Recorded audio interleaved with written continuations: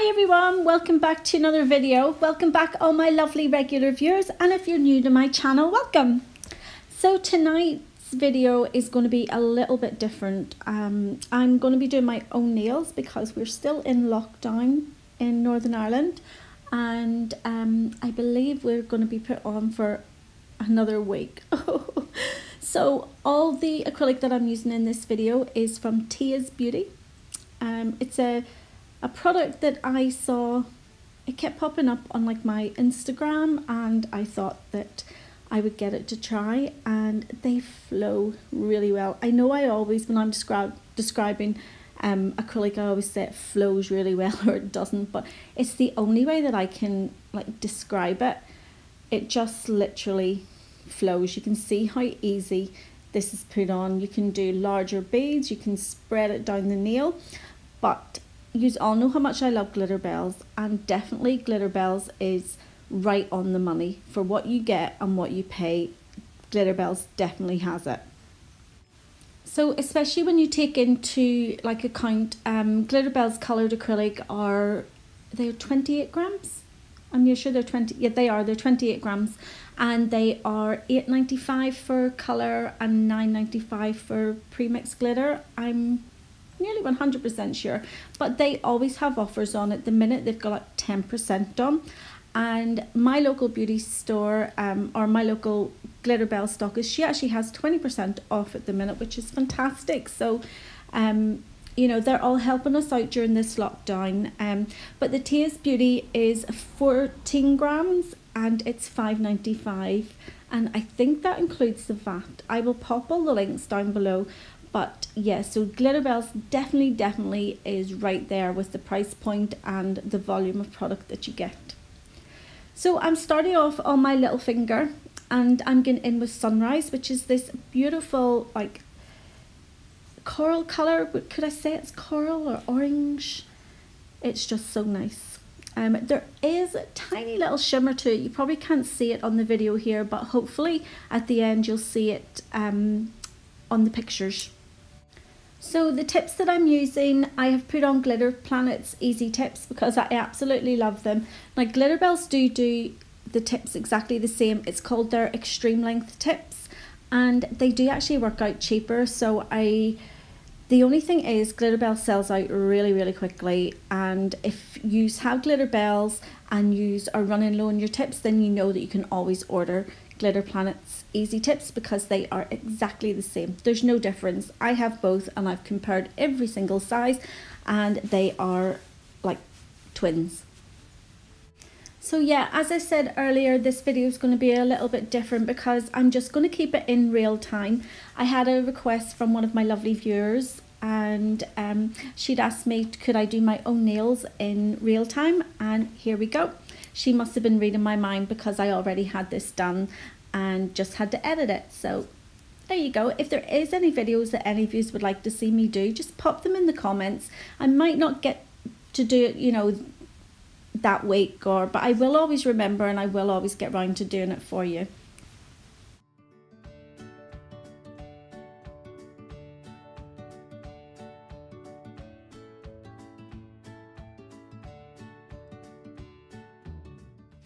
So moving on to the ring finger and whoopsie, I got it wrong at the start of this video and said that I was going to be using all Tia's Beauties um, acrylic, but I'm not. It's a mixture of Tia's Beauty and obviously Glitterbels because I've only ordered quite a few of um, the Tia's Beauty and I kind of ordered all the autumn sort of fall colours.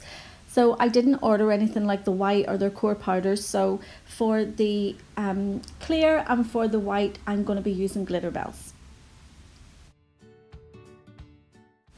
And as in the little finger, the ring finger is just going to be a full coverage of the Snowdrops White. You can see just sometimes the consistency difference between the first nail that I did and the second one. Glitterbel Snowdrops White tends to hold a lot of the liquid, you know, when you place it on the nail. So it, it does become quite runny. You really have to drain your brush out, make sure you get all that excess liquid out because as soon as you place it on the nail, if there is any excess liquid that's in your brush, it's going to make that acrylic really, really runny. And you can see that because it is quite runny I have really um, put my nail on a downward angle just so that nothing flows into my cuticles and then I'll just go in with my brush and clean everything up.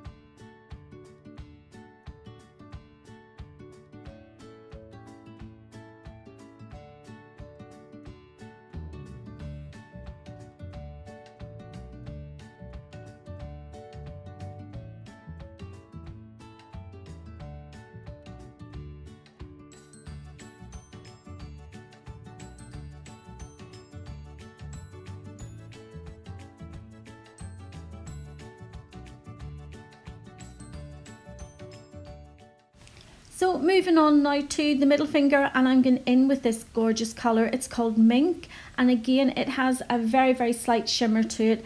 I can't get over how gorgeous this colour is. It is so pretty and it just flows really really nice. It kind of reminds me a bit of a bit like the cashmere cover. It's like a cashmere colour um, but it's so much easier to work with. The cashmere cover, oh my goodness, it just cures practically as soon as you set it on the nail. But this is, I absolutely love this. And again, the mink is going to be a full coverage on the middle finger. All the nails that I'm doing with the acrylic, they're all full coverage nails of the one colour. And then I do go in and do some Sharpie nail artwork and some line work as well.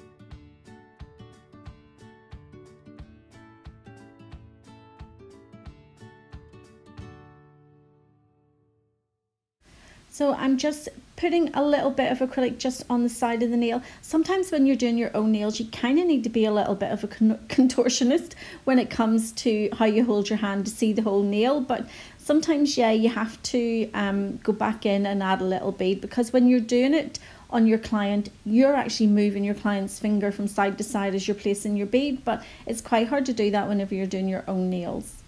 So moving on to the pointer finger and I'm going back in again with that gorgeous sunrise and again it's just going to be another full cover.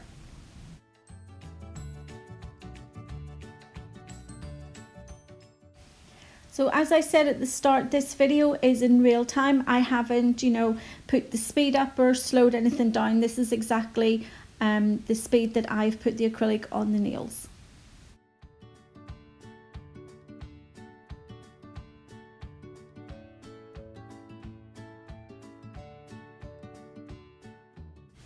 Again, you can see that, especially when I place this cuticle bead, that I have my nail pointing downwards. So I'm letting gravity work with the acrylic so that it's not going to go in and flood the cuticle area.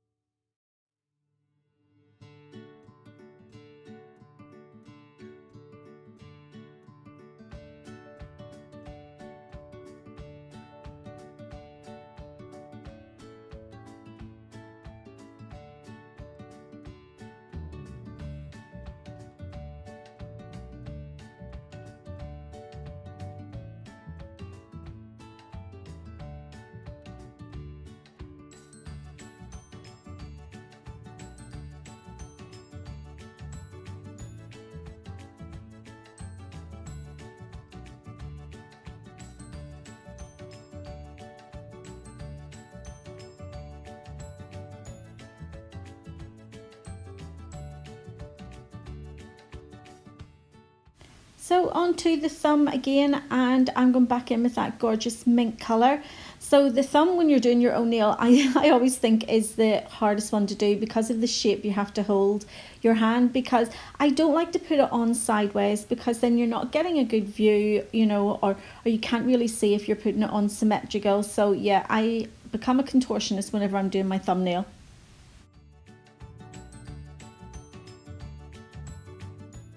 Again, as this is a real-time video, I'm just going to let you go ahead and watch the acrylic being um, applied and then I'll come back once I've applied this gorgeous mink to the, um, the rest of the thumbnail.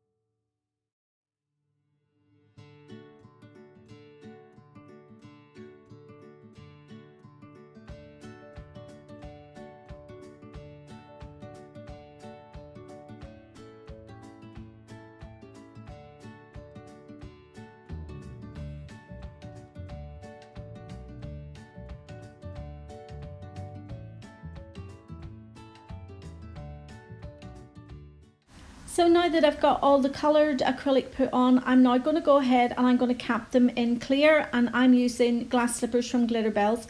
Usually when you're working with any um, coloured acrylic, they're not strength powders, so you do always have to, or usually have to go over with a clear acrylic just to give them the strength. They're very, um, they're very, very light whenever you're, you're buffing over them. It's almost like they are really soft, they haven't fully cured, and you can literally buff them right off the nail without even, you know, applying a lot of pressure, especially around the cuticle area. Yeah, so just by going over with that little coat of clear acrylic, it just saves your colour and stops you from buffing into it. And as this is a real-time video, I'm not going to show all the nails being capped in clear because they're all capped in exactly the same way.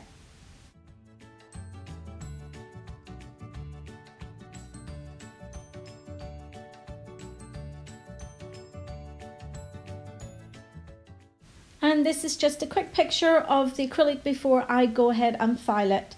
So I'm using my Glitterbels metal board file and I've used the 180 grit refill and the 100 grit refill. I absolutely love these files. They're amazing for getting those really, really straight edges and um, a really, really straight free edge. So when I'm doing my filing routine, I always start at the side walls and make sure they're nice and straight.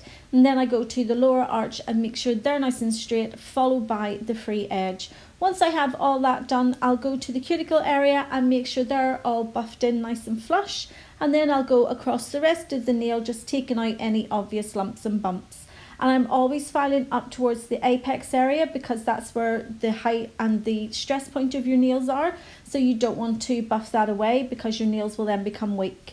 And when I'm happy with the shape of the nails I will always finish off with my buffer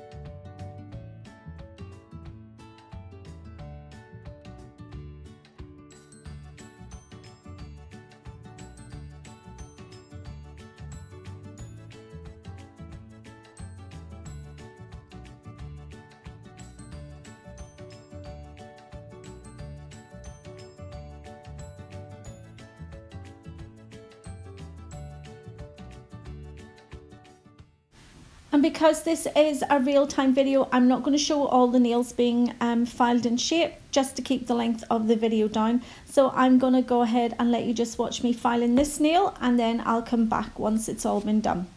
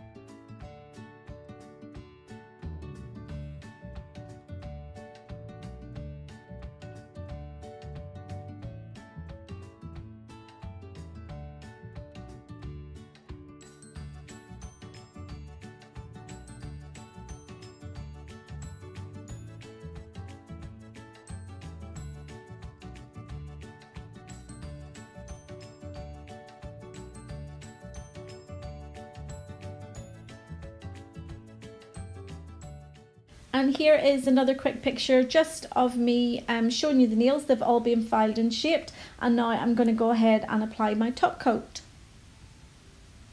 So anybody that knows me has watched a lot of my videos, you always know if I'm going to be doing any artwork or anything on the nails, I will always apply a matte top coat.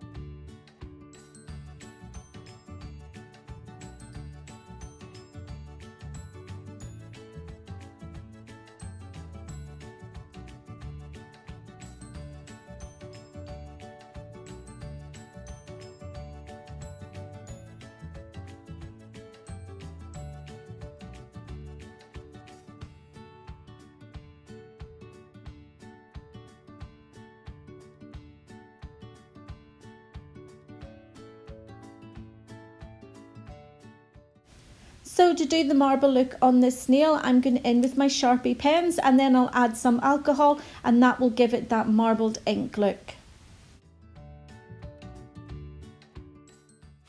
There's not really any particular way to do this. I'm literally just alternating the colours and just working my way down the nail. And then I'm just going to take a fine brush. It's um, just a little art brush. It's not, you know, detailer brush or anything. And I'm just placing some alcohol just in the center of that and spreading it out a little bit to make it look like ink.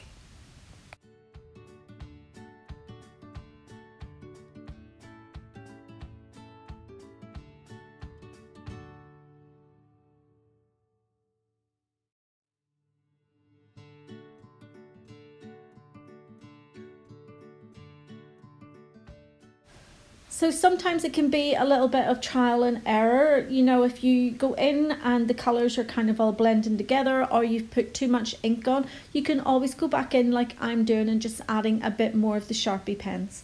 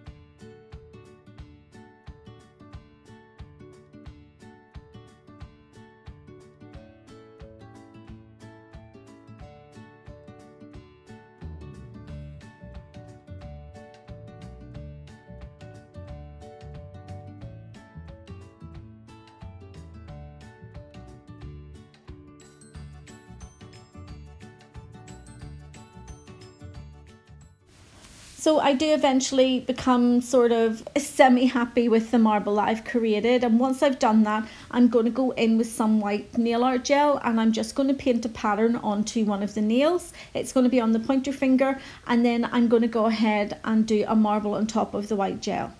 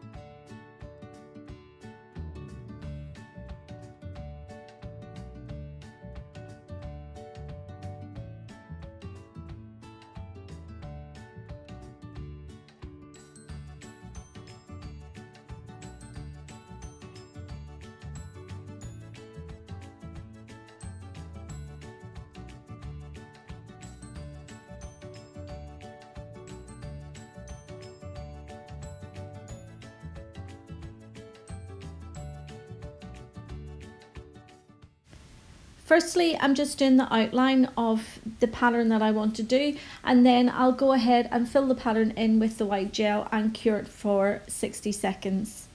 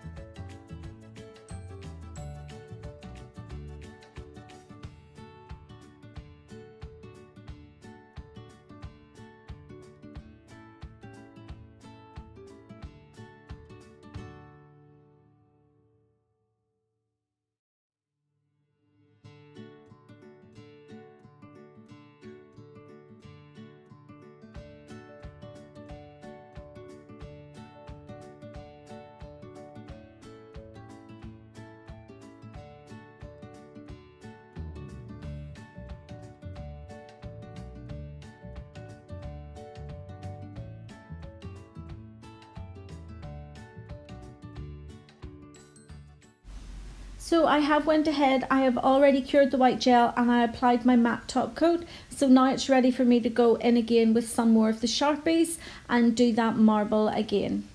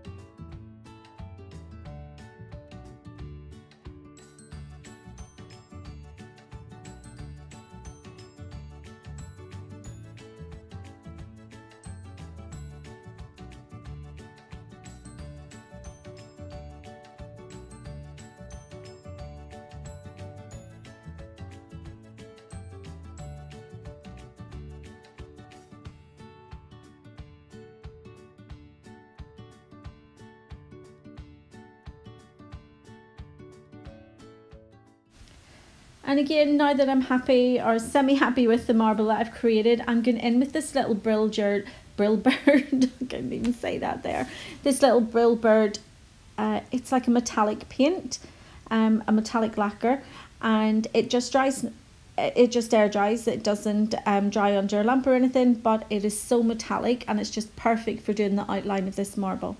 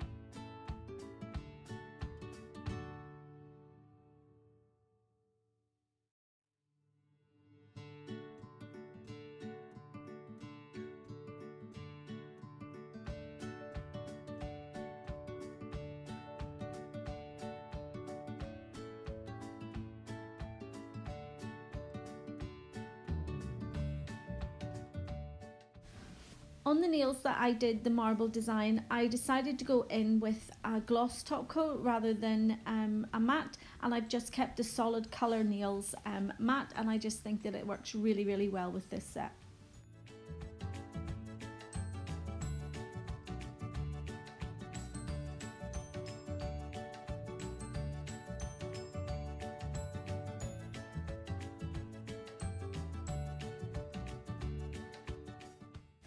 And just to finish the nails off, I'm going to go ahead on a few of them and just apply some gold studs and then I will come back at the end.